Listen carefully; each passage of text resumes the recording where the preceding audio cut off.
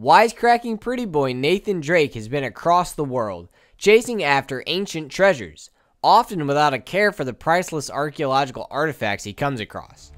Sorry, Marco. Soon he'll go on his last adventure, chasing after a pirate treasure in the pirate colony of Libertalia. Before we focus on that, though, let's take a look at his previous adventures and see how accurate the stories are to the actual legends. We'll be covering Uncharted 1, 2, and 3 in this video. If you want to learn about only one game or story, here are the timestamps for each part. Alright, so back in 2007, Nate takes us with him as he tracks down El Dorado, the legendary lost city of riches that's supposedly hidden in the Amazon rainforest. In the game, we find out that El Dorado, which translates to the Golden One, isn't a city of riches, but an ornate statue that doubles as a sarcophagus for an ancient Indian ruler. Spanish conquistadors found the statue in ruins and attempted to bring it back to Spain for its riches. Unfortunately, the statue was cursed and mutated the Spaniards into monsters. Nate tracks down El Dorado and learns the terrible secret of the statue. He decides to abandon the fame and fortune it can bring and fights to keep it on the island, like his ancestor Francis Drake, eventually plunging it into the ocean's depths. Now, the myth of El Dorado itself is actually a heavily mutated story based on a ritual of ascension for a group of indigenous people called the Muisca. The Muisca lived in the central highlands of what is today Colombia, and they had two leaders, one of which was called the Zipa. When a new Zipa was selected, he went through an extravagant ritual in which he was covered head to toe in gold dust and floated out onto a nearby lake named Lake Guatavita. He would wash the gold off and then throw gold and other treasures into the lake as an offering to the gods. This story of a golden man that had so much treasure that he threw it away stoked the flames of the Spaniards' greed, and they razed the continent in an effort to find the wealth of El Dorado. But no matter how much gold the Spanish found, it was never enough, and the story of even greater wealth persisted for centuries, eventually molding into the El Dorado legend. So after Drake watched his fortune sink into the sea, he winds up all alone on a sun baked tropical beach. Sounds terrible, right? Well, it's a good thing Nate's old friend Harry Flynn shows up and takes him on a whole new adventure. This time, Nathan follows Marco Polo's journey to the east and finds out he visited the mythical city of Shambhala. Gosh, that word is so fun to say. While in Shambhala, Marco Polo found the mythical Chintamani stone, a legendary jewel that could grant any wish one had. Instead of bringing it back to Europe, he chose to leave the Chintamani stone in its resting place of Shambhala. Through Polo's journals, Nate tracks down Shambhala and finds the beautiful city mostly abandoned. The only inhabitants left are mysterious, brutish blue men that possess superhuman strength and endurance and fight to repel the outsiders from Shambhala. Nate fights his way to the center of Shambhala and finds the magnificent Chintamani stone, which turns out to be blue amber formed from the blue resin they've seen their whole journey. And Nate realizes that the resin is the true treasure of Shambhala.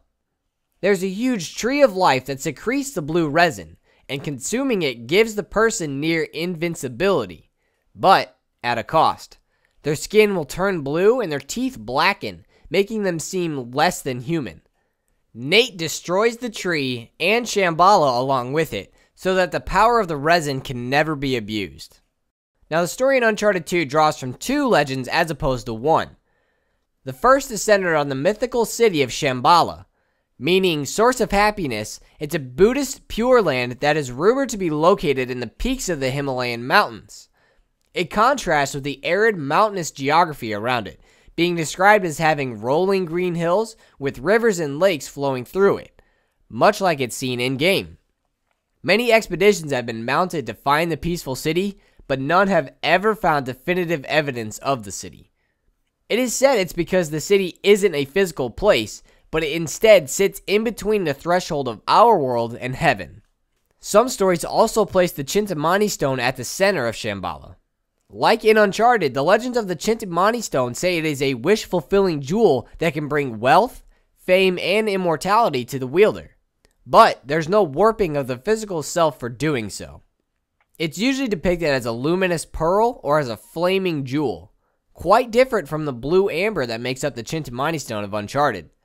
So after destroying yet another priceless archaeological find, Nate sets his destructive sights on another lost city, the Atlantis of the Sands, Ubar. It was a city of immense wealth that was destroyed by God for the arrogance of its citizens. Nate follows convoluted clues left by Francis Drake and T.E. Lawrence to find that Ubar's location is in the Rub' al Khali Desert in the north of Yemen. On the way, however, Sully gets kidnapped and Nate gets lost in the desert.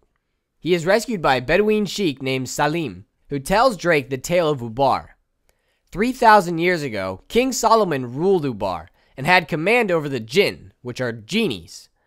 The evil jinn rebelled against Solomon, and he had them imprisoned in a brass vessel which he tossed into the watery depths of Ubar.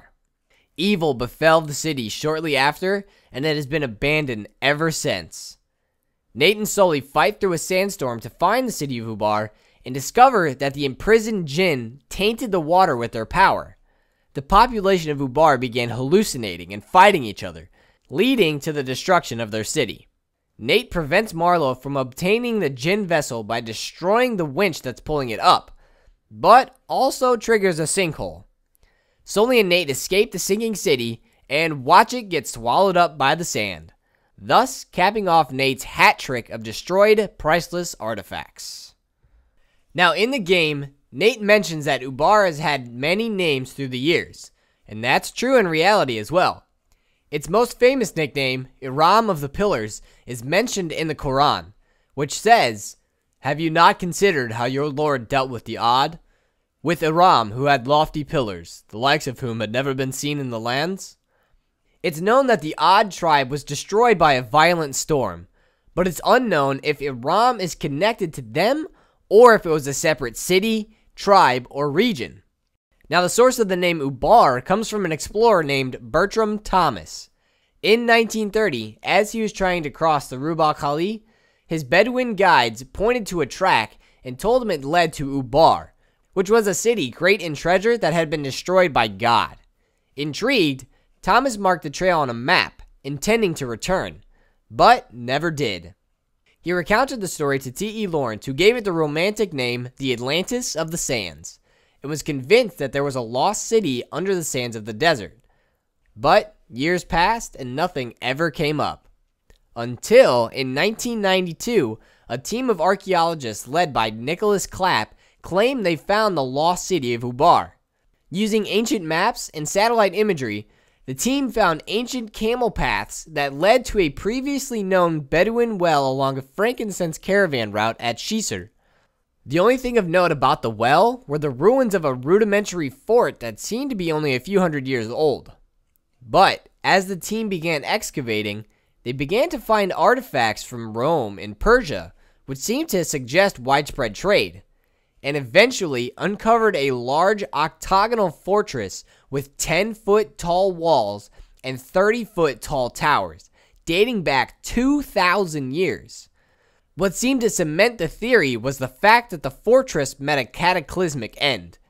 A large portion of the fortress was destroyed when it collapsed into a sinkhole. Seems like we didn't need Nathan Drake to find or destroy Ubar, huh?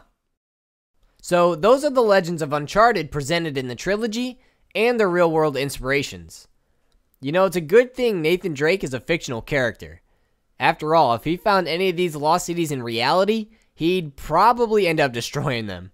Could you imagine Machu Picchu sliding down the mountain ridge it's on? That would suck.